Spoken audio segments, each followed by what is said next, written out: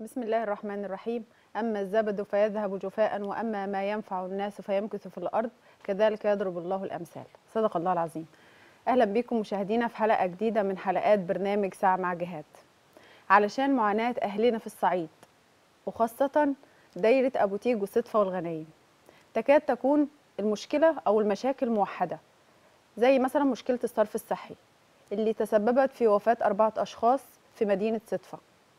وزي مشكلة الغاز الطبيعي وزي برضو مشكلة مستش... نقص ال- الكوادر الطبية أو الأط- عدد الأطباء في مستشفى صدفة المركزي ونقص وقلة الأجهزة.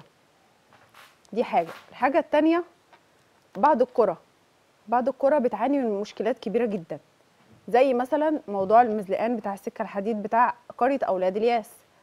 ده محتاج تطوير وخاصة الأيام اللي فاتت دي تسبب في وفاة اتنين سيدات أخوات. فالمفروض يكون في حركة من المسؤولين. انت كنائب عن ثلاث دوائر مش دايرة واحدة بس. أبو تيج بقراها وصدفة بقراها والغنايم هكذا الوضع. يعني محتاج من المفروض يكون في مكتب في كل دايرة من دول. مكتب يباشر ويشوف شكاوى الناس إيه. ما يكونش مكتب روتيني. لا يكون بي فعلا بيتخذ خطوات فعلية.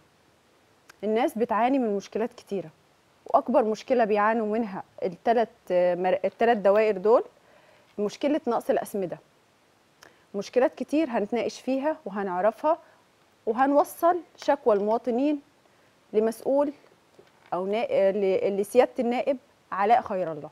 هيكون معايا إن شاء الله ضيف حلقة النهارده سيادة النائب علاء خير الله عضو مجلس النواب عن دائرة أبو تيج والصدفه والغنايم بس هنروح لفاصل ونرجع نبدأ حلقتنا.